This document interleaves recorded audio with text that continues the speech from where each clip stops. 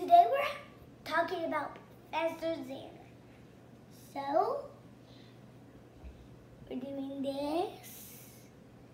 I promised you guys that I would do the video. I am right now. Say, ooh. It's a mm. magnetic rock. So, and it, and say, ooh, to the compass.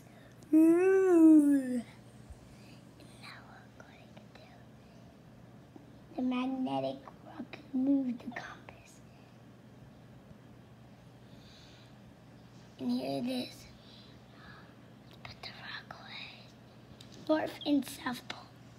South Pole is where is up here, and North Pole is down below us.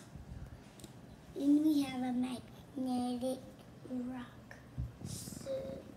Can move the compass. The compass is magnetic. And